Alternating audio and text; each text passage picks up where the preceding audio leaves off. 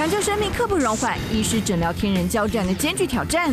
三十二周就出生的小宝宝，血压也不稳，心跳也不稳，护理人员就问我冲还是不要冲？好，我就冲。救护车司机工，你得要喝哦，你不必在有限的设备上要把他的生命维持下来，就觉得做了一件很好的事。我真的觉得我很帅，但是我下一秒我就转身去厕所吐了，因为晕车。